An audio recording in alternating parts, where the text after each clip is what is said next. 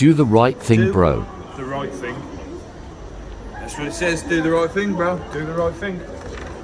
Gonna do the right thing. Always do the right thing. Bro, Yes, bro. What is the right thing to do? I'm so glad you asked, bro. Let me break it down for you. Take it easy, boss. Yeah, and you. Boss. Yeah? Just drop your wallet on the floor, mate. Oh, thanks, man. Yeah. no worries Appreciate at all, that, mate. yeah. Always got to do the right thing. Yeah, thank you. No worries, man. No worries. Uh, excuse me, uh, do you know where I can book a taxi from? I bet if I'll just book you a taxi bus. Yeah, I'd appreciate that, man. Thank you. All about doing the right thing, you know. I I'll order you, appreciate that. I'll order you one there, bro. Thank you, man. No worries, man. Guys, if you're out with a girl on a night out and you've just met her and she takes it a little bit too far with a drink, she's a bit vulnerable, do the right thing.